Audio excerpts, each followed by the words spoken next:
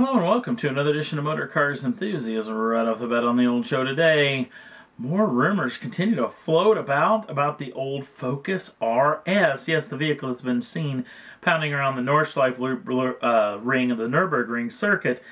Now, this particular vehicle has been rumored to have around 330 brake horsepower, but that since rumor has been floated way upwards of around 350 brake horsepower. It has four-cylinder turbocharged unit. Also, that torque vectoring system that we talked about for the vehicle, which I had never heard of a front-wheel drive version ever getting this. Well, apparently there's a reason behind that because this vehicle won't be front-wheel drive. Apparently it's going to be all-wheel drive, which means if you want to live out your World Rally Championship fantasies, you're going to have a lot of choices, at least if you move pretty quickly, including the soon-to-be outgoing Mitsubishi Evolution, not to mention the Subaru WRX. We're also hearing some rumors about that Evolution maybe getting a final edition, special edition coming very soon.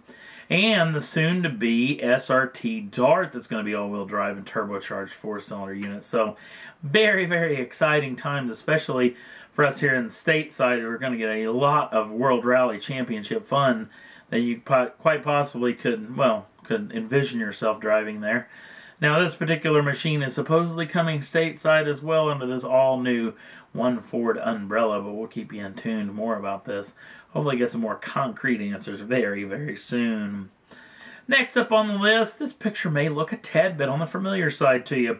This is a picture of a recovery vehicle operator actually trying to fish a Bugatti Veyron at a Gulf Bay down in Texas back in November 11th of 2009. Now, the owner of this particular machine, which was Andy House, who is now 39 of Texas, actually had just purchased this particular vehicle. Now, in his accounts, he was actually startled while he was fiddling with his phone while driving down the road, uh, startled by a group of birds, maybe some seagulls, and it actually made him spear off into the water. Well, little did he know that he was being filmed by a couple of guys over on the bigger road just adjacent to it when the car actually went into the drink.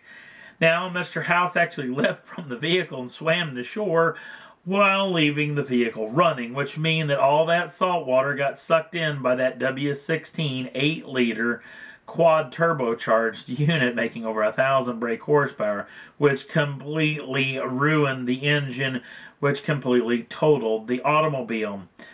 Well, now we're hearing reports that not only did Mr. House actually purchase this car for a hefty sum of $1 million, but then later insured the car for $2.2 million. Yes, you see where this is going. Apparently now Mr. House is under a tad bit of trouble as the local FBI and state officials are actually looking into the video because he didn't know those meddling kids were actually filming at the time, which meant that when he was trying to pull off his little insurance fraud scam, he didn't think anybody would actually witness it. So, very intriguing situation. We'll let you know more about this when we find out about it. But, man, I didn't think I'd hear about this story ever, ever again. And if I can find this video, up on the old interwebs. I'll throw it up on the Facebook page if you want to check it out.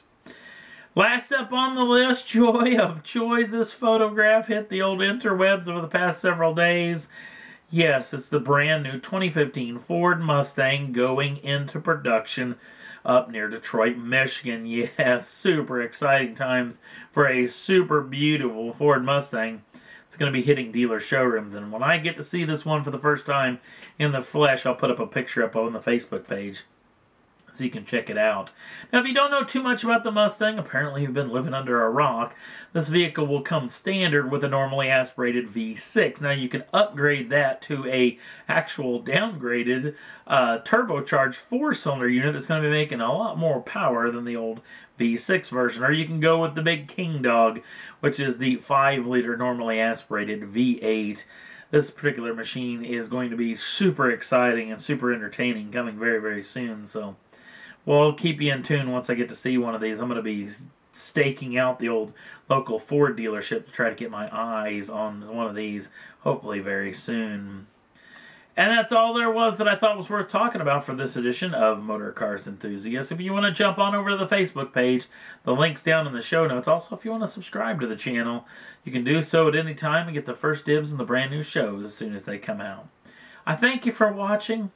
And we'll see you again real soon.